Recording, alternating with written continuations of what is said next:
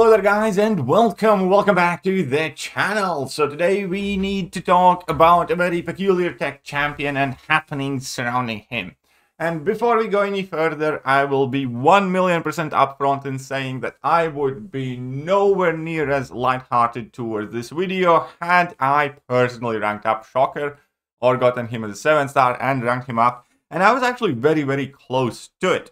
Uh, I was going to do it today or tomorrow, to be honest. Shocker was going to go to rank 5 and ascend it. But now, I'm not saying I won't, but I definitely will have to think about it because it is inevitable and inarguable that Shocker is now weaker than he was before. And why? What is the reason for that?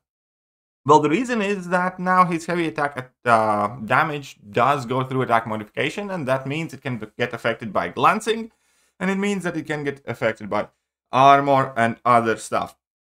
So that makes him significantly worse in some of the matchups.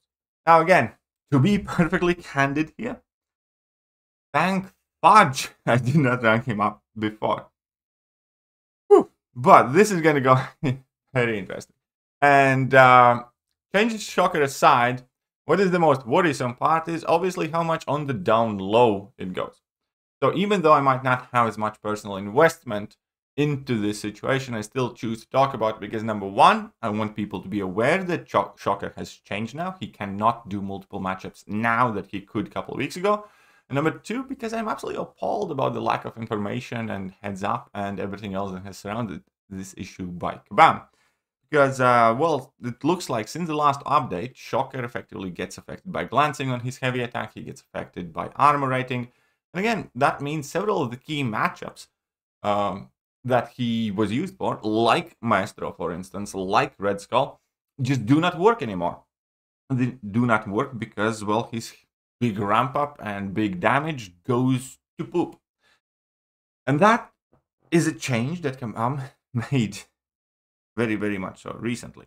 However, the biggest problem here, in my personal opinion, is that, uh, well, now if we take a look at uh, patch notes, for instance, um, so this is the April patch notes, right? And uh, this is a new thing, new development. And uh, if I type in the search bar and look for the word shock, only shock that comes up here is something to be still a Centurion. So it means that shock is not even uh, mentioned here. For instance, right?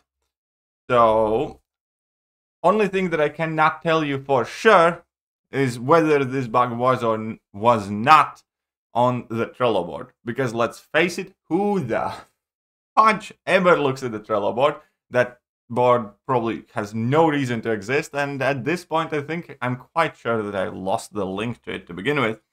But uh, yeah, I don't think it was that. I'm like 98% sure nobody mentioned that. So either the Shockers fix the the glancing alteration, the attack modification alteration, was not listed there, or just nobody noticed. But now, obviously, that it is in game, people have noticed that Shocker, well, uh, is worse than he was. We can just say like we, we, we don't we do not have to debate whether we're gonna call this nerf or bug fix or or however you want.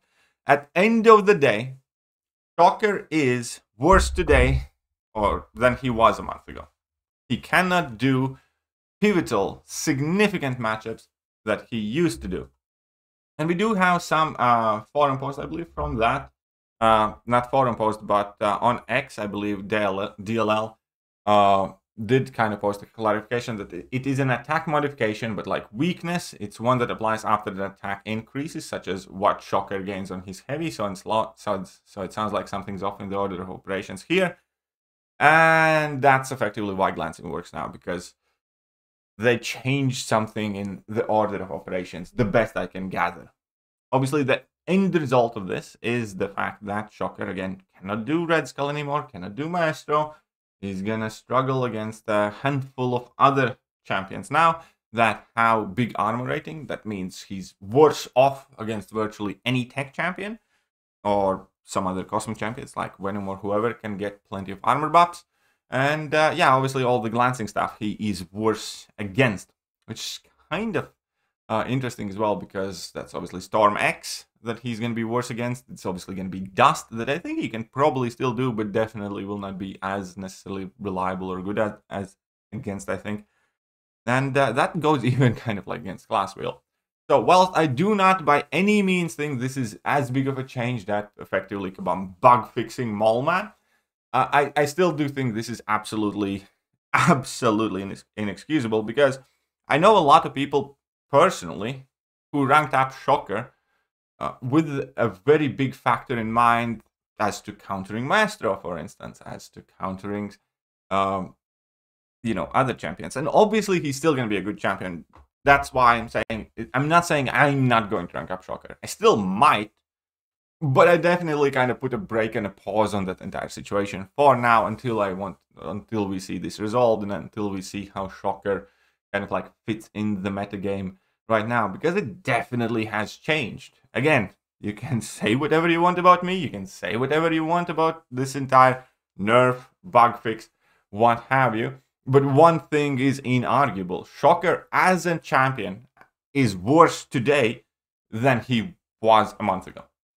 And that is something that was not communicated, that was not, you know, message to the player base. It is something that Kabam just randomly did and community stumbled and found out about it and now we have to deal with it. And that is rough. Like as a company kabam should not be allowed to do things like that. At all.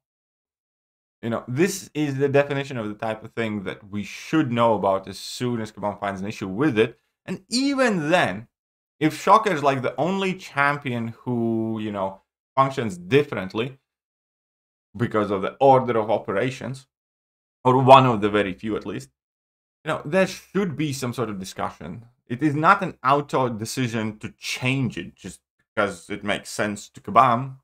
Because one of the worst things that Kabam is at fault for is not respecting the investment of time and resources of the players, which is becoming a bigger and bigger issue. It is exactly the same thing what they did when they couldn't fix a bugged Battlegrounds node. Therefore, they just randomly changed the meta in the middle of the final weeks of Battlegrounds. And that automatically invalidated a whole bunch of rank ups that people did, myself included, just because Kabam, you know, had a bug, couldn't fix it, and went, yeah, whatever. And again, that is a bigger and broader overarching problem. You know, I don't know how better to explain that, but it is complete shameless and inconsiderate attitude from Kabam towards the player base. And if there is one thing that Kabam, you know, should be very wary of, is the satisfaction of the players right now. Because let's face it, the game has seen better days. Let's face it, that you know the community's opinion of Kabam definitely is not at the zenith, uh, and it's precisely because of things like that. Again, I want this game to be good. I want this game to be amazing. I want this game to do as well as it can because it also helps me, obviously. And this game could have been 10 times bigger and better had, you know, Kabam made better decisions and perhaps most importantly, communicated themselves better with the player base. Kabam does like a monthly stream, for instance, now, where they talk about all the new things coming to the game but they never address any issues or problems there. They never answer any significant questions. They just completely ignore and pretend that no bad things are ever happening in the game, and they just kind of completely glance over all of that. They do some things better now that they did in some aspects, but there is very little real conversation about what goes into making decisions like that, why they are made, and you know how best to connect the players to Kabam and make players understand, you know, what Kabam's going through, and also make Kabam understand what players are going through, and perhaps having Kabam adjust some of their decisions based on that.